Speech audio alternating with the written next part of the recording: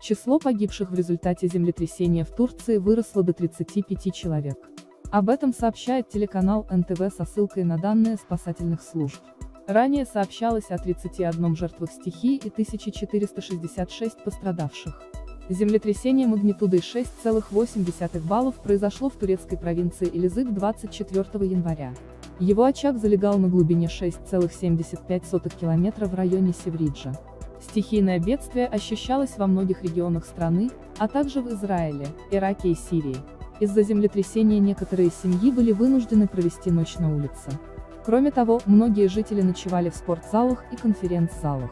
Больше всего погибших оказалось в провинции Элизык.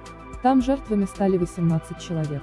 В Малате число жертв не возросло. В регионе погибли 4 человека. В управлении рассказали, что спасатели вытащили из-под завалов 40 человек. На следующий день в район землетрясения прибыл президент Турции Реджеп Таип Эрдоган, отменив перед этим свою программу в Стамбуле. Глава государства заверил, что власти оказывают все необходимые меры для обеспечения безопасности граждан и оказания им медицинской помощи.